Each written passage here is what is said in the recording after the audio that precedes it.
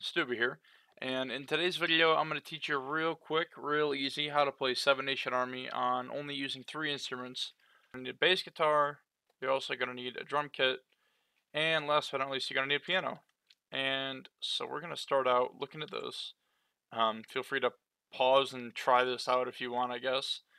But um, basically, you jump on the piano, you press R, you start out real simple and then you you start on U.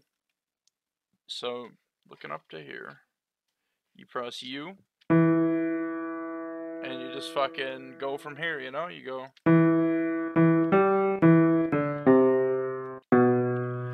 And you play that four times over, unless you're gonna do like the you know the solo part, which is uh, you know once again starting with U.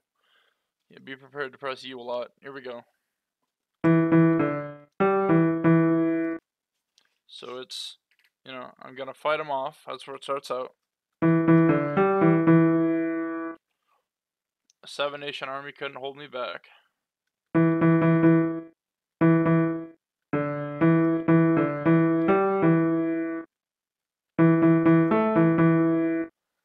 Taking their time right behind my back.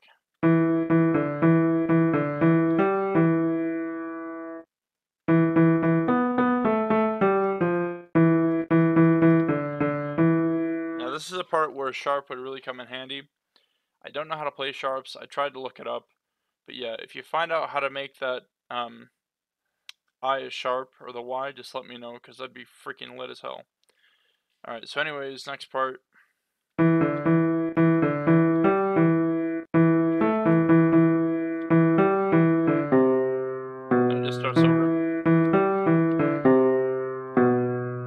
Basics for it. I'll put it down in the description. That's literally you press R and you just play these to the tune of Seven Nation Army.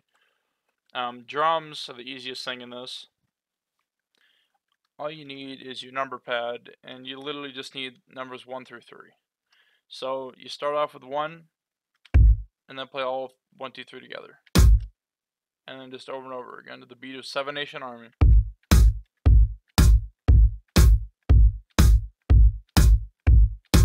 Until you get to the riff part where you know everything just takes off where it goes. And then right there I forgot to mention this on the piano let me jump back real quick um, right up here. So up there in the top right you kind of see it. For the riff part open that back up with R press literally E eight times R eight times and then back to the normal um, bass line. So it's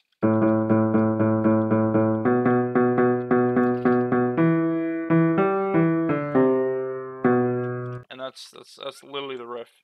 And on the drums, it's not much different. It is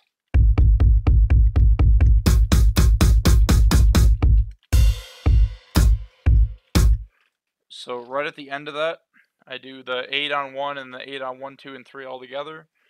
And then I play the 1 again, and then the 1 and the 7, and then back to the 1, and then the 1, 2, and 3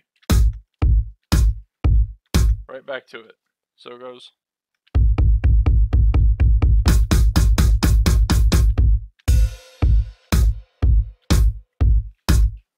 Alright, so that's that. And the bass line is also fairly easy. Um, starting off, you, you just play this basically the entire time. And then when you get to the riff, you can change it up a little bit. Um, so I'll tell you what to do there. But basically the bass line is just starting at J.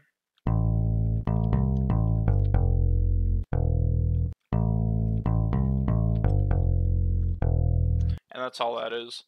Um, but once you get to the riff part, you can go.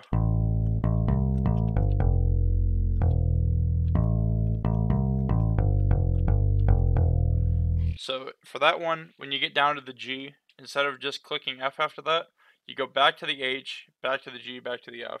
So it'd be J, J, L, J, H, G, H, G,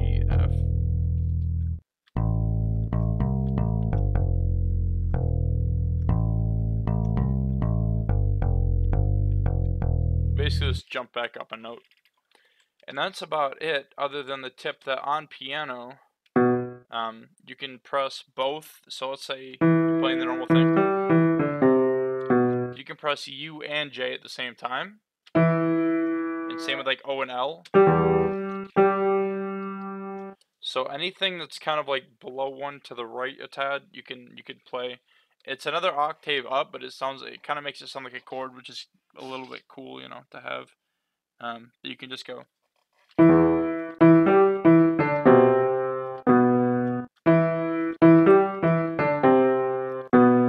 You know that that's uh, that's about it. So I'm gonna I'm gonna mash them together here, um, and let's see how it sounds.